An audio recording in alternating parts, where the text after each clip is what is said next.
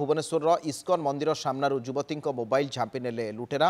নয়াপাল্লি থানার অভিযোগ পরে পুলিশের ছানভিন আরম্ভ হয়েছে ঘটনার সমস্ত চিত্র সিসিটিভি কয়েদ হয়েছে সিসিটিভি ফুটেজ আধারে লুটেরা খোঁজুছে নয়াপল্লী থানা পুলিশ দুইজন যুবতী ইস্কন মন্দির সামনে চালি চালি যাওয়া সময় দুইজন লুটেরা গোটি বাইক্রে আসি মোবাইল ঝাঁপি নিয়েছেন লুট পরে লুটেরা মানে জয়দেব বিহার আড়ক পলাই যাওয়া সিসিটিভি ফুটেজরু জনাপড়ি পুলিশ বর্তমান সময় এমন ধরা জোরদার প্রয়াস চলাইছে